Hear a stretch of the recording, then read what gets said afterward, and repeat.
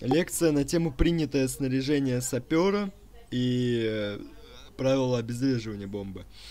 Давайте перейдем сначала к саперу, да. Снаряжение сапера состоит из защитного костюма, датчика ДС, холла, э, резиновые перчатки, саперный набор, э, в сапорный, фу, блядь, сапорный. Саперный набор состоит из грузового подсумка с системой крепления Молли. Второй планшет для подрывников. Новый, для, новый дополнительный планшет, функции которого выполняет пат, патронтаж на приклад под нарезанные патроны. В нем можно разместить 10 взрывательных серий MOV, а на полукольца прикрепить R и T-образные предохранители, а также набор прочных английских булавок, которые выполняют функцию предохранителей во взрывателей MOV. Четвертая оправка для, взрыв... для взведения для взрывателей MOV, детонаторы – обладает очень сильной причиной, а ударник может проникнуть проткнуть палец до кости, поэтому для безопасности взведения лучше использовать оправку, которая сбережет руки и сэкономит время. Мультитул Лет Лет Херман или Ганза. Универсальный инструмент э, с набором бит для выполнения самых разнообразных задач. В силу своей универсальности мультитул носится в кармане, а не в, су а не сумке.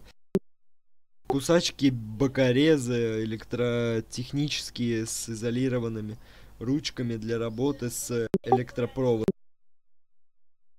Обжим для изготовления зажигательных трубок только с обжимом эта процедура является абсолютно безопасной. На каком-то учебном видео он видел, как сапер радикальной группировки правый сектор используют для обжима обычные плоскогубцы. Такой способ возможен, но потенциально опасен. Потом идет, ну это все то, что в сапер набор ходит. А, нож для вспомогательных работ, катушка с проводом для мин натяжного действия серии POMZ и OMZ, изолента, измерительная рулетка, планшет для чек и карабинов, используемых для взрывателей серии MOV. Э, планшет содержит карабины для мин натяжного действия, предохранительные втулки для взрывателей MOV и длинные шпильки, которые служат для крепления. Потом катушка со шпагатом и грубыми нитками для проведения различного рода крепежных работ катушка карпоновой нити, пенал для саперной спички и фонарик. Вопросы есть по лекции? Нет. Лекция... А, нет, стоп. Да, еще как идет ход взрывателей, ну как э, обезвреживается бомба. Вот. А, вы, получается, видите бомбу. Вот.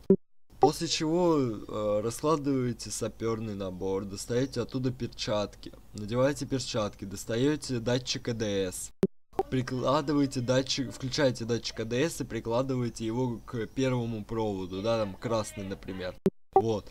Если датчик АДС показывает удачно, ну, то, что э, идет много энергии через... Зеленая лампочка. Да, да, да вот, то вы режете этот провод. Если нет, то переходите к другому. Вот.